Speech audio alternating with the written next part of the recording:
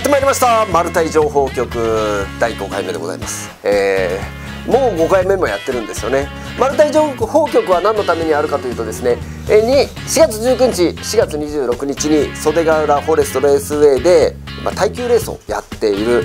その耐久レースに出るメンバーに対してですねいろんな情報を教えていこう。プラス全く耐久には出ないんだけれど、えーこんな情報を知っておいたら面白いんじゃないかという、まあ、全ての視聴者のためにですね一生懸命頑張ってやっております。だけど丸太に出る人は全員見てほしいというですねあのお知らせになっております、えーということでこの番組はモータースポーツを通して人々の生活に活力を与え文化として創造する、えーレースをしながらねこれをねモータースポーツ文化に持っていこうという仕組みになっております。さあ一発目!派手なですね方々がいらっしゃいます。地方リナレナ。3人合わせてスパルナ スパルナっていうねあのースパルナのこここちら本物はこちらですよね、えーモータースポーツ業界大活躍しておりますよね。3人の、えーユニットっていうの？3人だとユニット？スパルナさんがですね丸太大体皆さん来てくれてるんですね。歴代ずっと結構来てますよ。ただ3人揃うのは、まあ、意外と珍しいんですよ。誰かは来られなかったりしてるんですけど今回一応ですね3人いけますよっていうお達しいただいております、えー結構来ると思いますちゃんと。ということで、えー今回はですねこちらがですねトピックス、えースパルナフルメンバーで参戦、えー、地方リナレナという形になっております。スパルナチームはリナチーム地方チームレナチームって3チームあるんですよね。あの耐久の中で。4人のこの4月26日ですけど。そこに今小鳥クラブが一生懸命ですねチームを集めていて小鳥クラブもなんとか3チームできるんじゃないかなっていうのがですねだんだんちょっと集まってきております、えーそこにはですねえーいいですか？うちの中だとまずきょんちゃんでしょ？うちのね きょんちゃんがいる。そして、えーレースクイーンとしてセシモちゃんね？セシさんセシモちゃんがいる。そしてもう一つ、えーレイナといううちのレースクイーンたちもですねここにあてがってそこの親分に小鳥クラブの小鳥ちゃんがいてギャル尽くし。ギャル尽くしですよ。そんなですね丸太を私も想像してまあ女性たちが活躍できるモータースポーツをですね、えー MSTV では追っかけるということで、まあ、このね3名のチームに対して、えー小鳥クラブチームが、まあ、それをねこう戦いに行くみたいなね図式を想像して一生懸命やっていたらなんとか実現しそうだということでね。まさか誰か休んだりしないような。そんながっかり 今から言うなんて。でもね多分あの今回来てくれると思いますね。大体3人この時期に OK って言ったらですね大体来てくれてたんで大丈夫だと思います。ただ3名揃うのは意外と珍しいなと思っております。さあこの後はですねここでもうねあの派手な情報とかネタはねほぼ尽きております。ここから先はですね事務局カレンダーなんでまあほぼほぼお知らせなんですが、えー、マルタイ事務局としてはですね早割り終了っていうのが、まあ、ニコニコグランプリドリームカップ。こちらがね今5台いるんですが3月19日に超早割り終了ね。早く申し込むと安いよっていう期間が3月19日で1回終わりますからね、えーでも、まあ、なるべく早くエントリーしてほしいなと。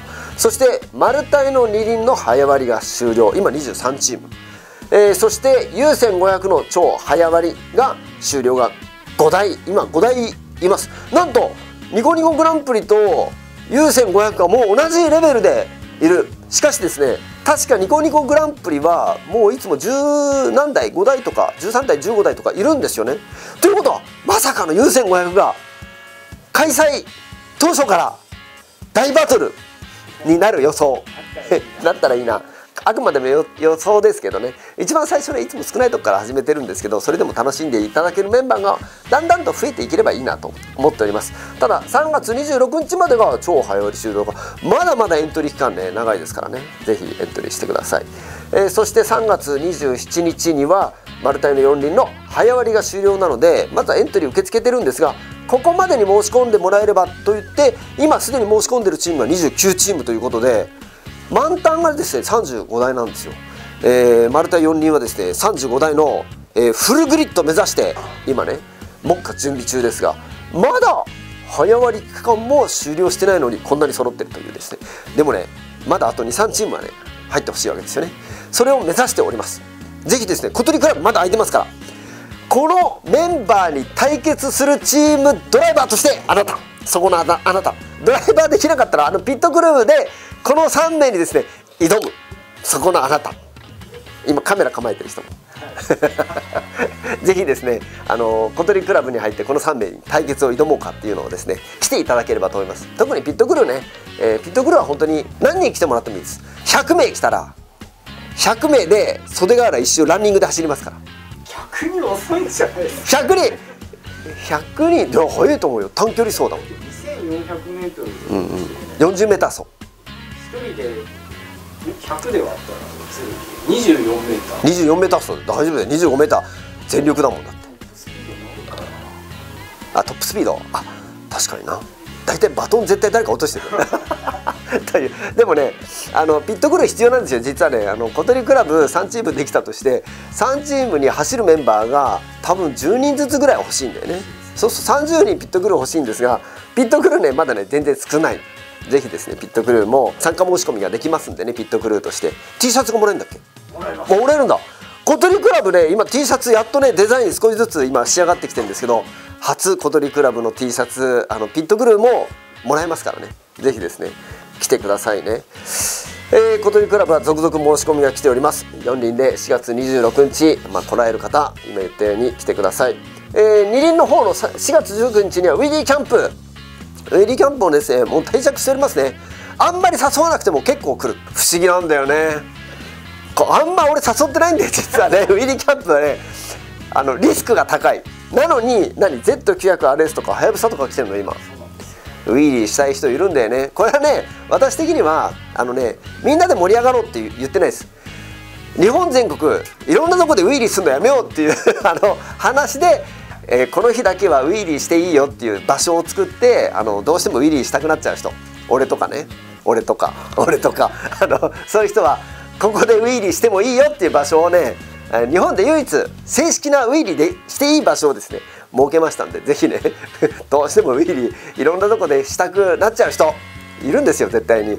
俺とかね。俺とか。すごい。あの4月19日はねウィリーしていい日なんでね是非ねあの、参加申し込みこれもホームページなんでね。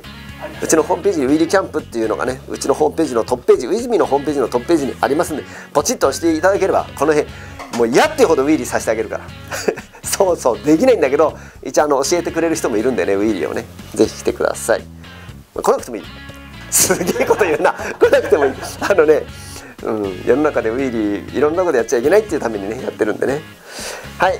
経験値を上げたい人。ドライバーとして参加するのにもうちょっと経験を積みたい人の練習日がですね4月88日にですねこれ水曜日平日なんですが我々カートでいつも練習会をやっているので、えー、小鳥ちゃんもそこで今腕を磨いている最中です。当然小鳥ちゃんも来てくれるんですが4月8日にですねカートでやってます、えー、しこたまね走れるんでね、えー、ぜひですねドライバーの方はですね4月8日の水曜日にあの小鳥クラブの練習会にも参加していただければいいんじゃないかと。いうのがですねマルタイ、えー、4月19日と4月26日4人のこの日の譲渡法として今回新しくこんな形がですね出ております。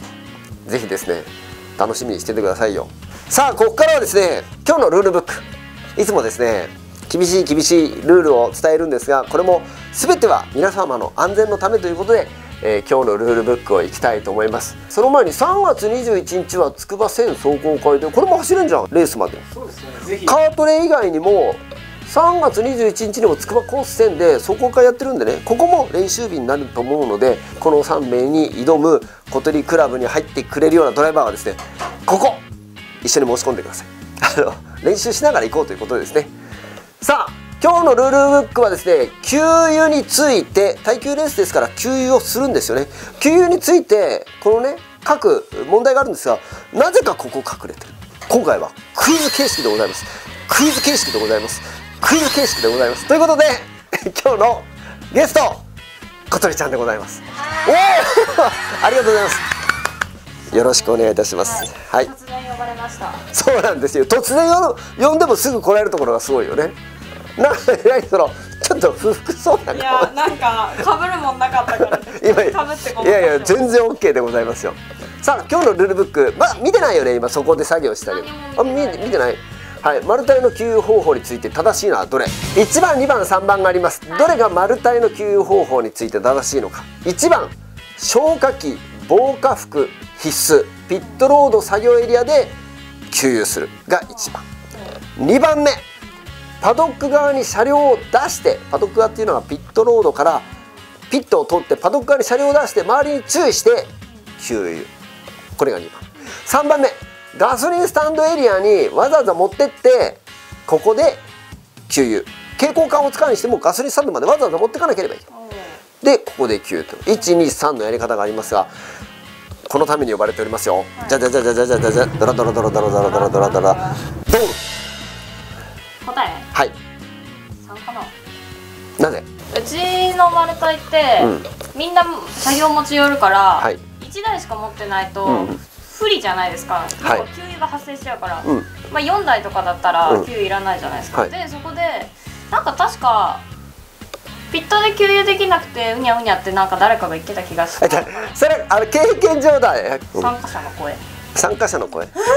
え結局答えは？答え見てみましょう。はいはい、答えはですねはい、えー、1番は消火器防火服でピットロードで作業エリアでするっていうのはこれ JAF のレギュレーションにある給油方法ね。公式戦の給油機まあ特別にルールもあるけどまあ作業スピードと安全面が両立かなりハイレベルでただしコストがかかる。消火器いつも用意してなきゃいけない。それも消火器に期限があるのでいつもうち消火器の期限切れをあーっつってわざわざ中身消火器の中身取っ換えに行って期限切れをちゃんと期限マークにす。る防火服っていうのは大体ドライバースーツ。まああれを全部メカニックも用意しなきゃいけないっていうのをやるのがこれが JAFMFJ のやり方ですごいコストがかかるんですよね。でもそうしないと安全にピットでピットロードで給油ができない。というでもねレースの進行をきっちりするためにはどうしてもこれが必要なんでコストがかかってしまうのがまあ1番。はい。2番。2番はですねなんと袖ヶ浦のスポーツ走行一般的な走行会も大体この2番のやつでやっております。大勢の人がいる中ではちょっと怖すぎ。普通のスポーツ走行の時ピットロードからパドックの方に行くとあんまり人いないんでね。そこで、えーまあ、火器のないところで給油してからピットロードに出ていくって形でピットロードでバタバタ給油すると危ないっていうことで、えー袖ヶ浦のスポーツ走行ではこれパドック側に車両を出してから周りに注意して給油するという形になっているのが2番ですね。3番目はい正解でございます。イエーイ。えーやっぱちゃんとあれですね、参加者の声を聞いてるから。確かにガソリン給油が必要な台数しかないと2台ぐらいしかないところとかね3台ぐらいのところは必ずガソリンスタンドに持ってってます。はい。万が一の時被害が最小限、えー遠いし面倒くさい。ガソリンスタンドが遠いし面倒くさい、えースタッフが救急でいないことも。あいないことも。スタンドにいないことがあるんだねトレーラーとかうん。担当する方がそうですね。給油当番ってこともあり得る。はいはい。あのだけどなぜスタンドに行くのが一番安全かっていうとあの消火設備がちゃんとそこにあったりとかするので必ずそこに行ってやってくださいねっつったらまあ緊急救急消火設備みたいなものの場所に行ってやってくださいねみたいな。ガソリンをまあ給油できるサーキットの中で入れるところはそういう場所にわざわざ設置されてるので、そこに行って給油すると耐久のその給油の中では最も安全なやり方なんですよね。というのをマルタイでは使ってて最も安全な方法を使うんだけどただ皆さんに面倒くさいとか遠いとかせっかく給油タンク持ってきたのにそう蛍光管持ってきていきなりピットで交換しちゃダメだ。一番安全なところに行ってくださいっていうのをねやらなければいけないんですがはいここでマジであっさり燃えるから、えー普段から気をつけてね。はい。私結構いろんな耐久レースずっとやってきてます、えー、2輪も4輪も耐久尽くしでございます、はい。燃えるって結構すごいのよ。一挙に燃える。あの8時間耐久2輪でもよく燃えてた。真夏のねすごい暑い走行中にガソリンバーンってこう入れるでしょ。バッて持ち上げた瞬間バシャッとこぼれるじゃない、あれエンジンにワシャーっていった時にすごい煙上がるのよ。ガソリンがエンジンに行った時にだってもう手で触れないぐらい熱いところにガソリンが全部漏れるわけよ。でそのその上ガソリンタンクだもん。っていうのでワシャーボンとかっていうのがよくある。だけど二輪の場合はね大きくても24リッタータンク。ブワーっていってもね。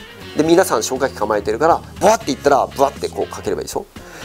4人の耐久俺スーパー耐久出てる時に大体後ろに80リッターぐらい積んでる。の車のとこにね。80リッター積んでガシャってここ後ろからね今度は後ろからガシャって刺してパッて取るでしょ？バシャバシャってエキゾストのとこかかってブワッて燃える時があるの。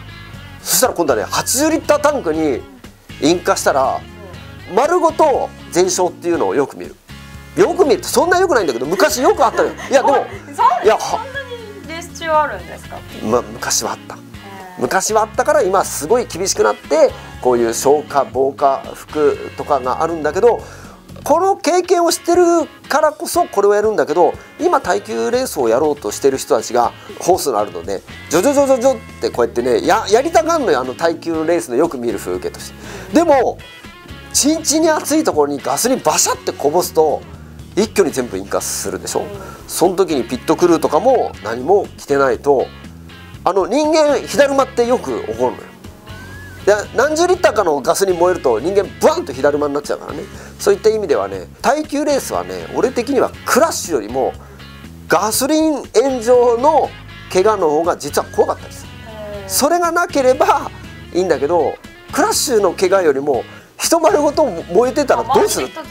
そうそうそうそう。ね悪いそう。それがそれがあるからね。耐久レースではねこのなな一番最も安全な方法をやりましょうねということをやってるんでね。これはね、まあ、これからうんサーキットに行く人もね意外と安易にガソリンちょぼちょぼ入れてね 昔よくやれたのあのピューって走ってきてピットローで止まってねメカニックがタバコを加えながらパカッてこうやって見てポンって。いやじゃあこれもよくあるの。昔はタバコをピットロードで吸ってる人よくいたのよ。で加えタバコをしたまんまガソリンブワーって走ってきてメカニックがこう偉そうにねパカポーンってねあの気化してるから。だから普通にここ全部あの眉毛なくなっちゃったとかね。結構それ笑い話ぐらいで済んでるけど下手するとドンって炎上っていうのがあるんでね。だからどんどんどんどん厳しくなってってコストがかかるようになってったんだけどマルタイはコストはかけないようにしようということでガソリンスタンドに行ってくださいということでルールブック9についてねちょっと厳しめに伝えさせていただきましたけどレースではあるあるなんでねこれ覚えておいてください。でもよく全部わかりましたね。なんか見てるからかな？まあよくね。はい今日の、はいはい。トピックス、えー、地方リナレナよく来てくれてますよね、はい今回も3名来てくれるんですが今回勝負ですよ。口バトルですよまず。か彼女たちも走る時と走らない時一応全員走ろうって言ってるんだけど、、はい。つも当日もごもごしながらちょっと走ってはパドック内で飯を食べながら口バトルしてる。なんか今回もシェフが来るって。そういる 小鳥クラブないの？そういう。えシェフの知り合いなんかいないもん。あいるの？いや今視聴者に向けて あのピットこのスパルナチームにはシェフが今応援で駆けつけてくれて結構美味しそうなもん食べてんのよ前回いただきました。俺もいただいた俺もいただいた。ぜひ小鳥クラブ専属シェフ求めるよね。専属シェフっつってもすごい料理しなくてもいいんだけどいろいろねサンドイッチサンドイッチ作ったりホットプレートで焼きホそばとかットプレートだったらいいんだっけ？ねホットプレート。発電機発電機あ発電機持ってこなきゃいけないけど発電機でやってるのか少しね。そういう調理をね。というとててみん。というのをねぜひねそういう楽しいのやりたいね。はいということではい4月19日4月26日のマルタイ情報局、はい。これにて終了したいと思います、はい。それではまた来週。さよなら。さよなら